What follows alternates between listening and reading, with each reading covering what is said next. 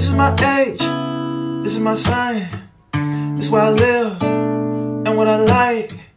This is where I'm from and what I do. This is what I love. How about you?